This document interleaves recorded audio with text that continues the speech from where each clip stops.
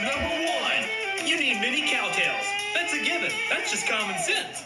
Number two, you need containers to hold your candy when trick or treating. We like to call these Cow Tale holders. Number three, more Cow Tales. People go to the good houses to get these. That's the only purpose for trick or treating. Everybody knows that. Number four, you need sweet Halloween costumes. You gotta look good on Halloween. Number five, last but not least, the most important ingredient of them all, more Cow Tales. These costumes are so real looking, we're probably getting mistaken for escaped convicts. Wouldn't that be a riot?